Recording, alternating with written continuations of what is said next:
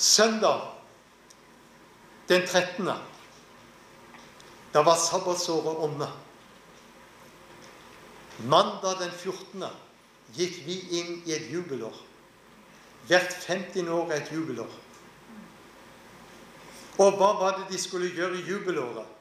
Da skulle de ettergi gjeld. Og vet du hva på mandag, eller den 14., så ettergav Israel 22 000 som ikke kunne betale gjelda si. Tenk om DNB kunne gjort det. Og hva er det med dette folket? Ifra den 13. september til nå tirsdag den 22. Da var jødene inn igjen i ti dager, og de bekjente synder.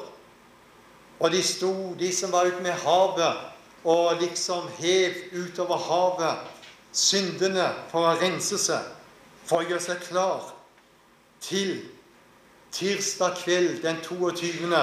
i denne morgenen her, som var på tirsdag kveld. Da gikk Jom Kippur, den helligste dagen for jødene, den gikk inn. Og hva opplevde de?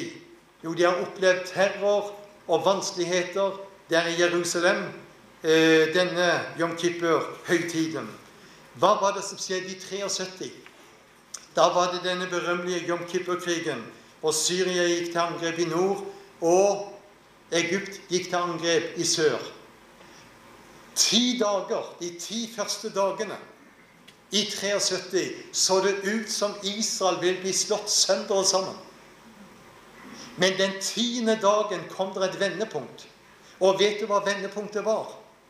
Overrabbineren i Jerusalem, han samlet skarene og foran Vestmuren så var det 100, over 100 000 mennesker som var samla.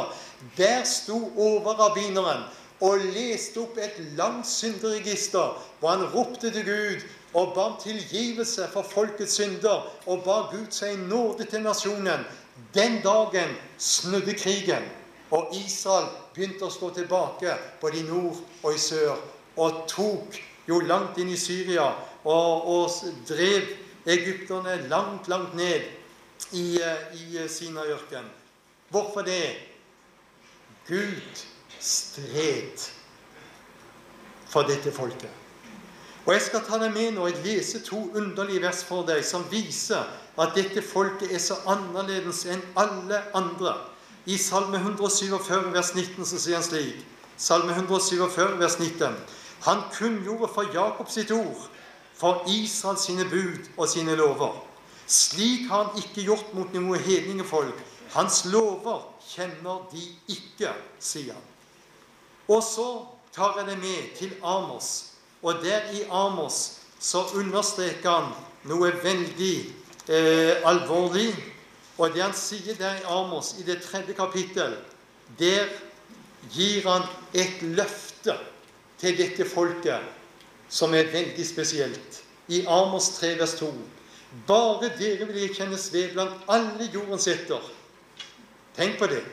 Gud sier, 'Bare dere', sier han til dette folket, 'vil jeg kjennes ved blant alle jordens etter'. Og så kommer det. 'Derfor vil jeg hjemsøke dere for alle deres misgjerninger'. Det er derfor når terroren rammer Israel har det vanskelig. Da står rabbinerne fram og roper Gud, si nåde til vår nasjon. Vi følger ikke dine bud. Vi vender deg ryggen. Vær oss nådig, Gud. Var det noen som gjorde det etter 22. juli i Norge?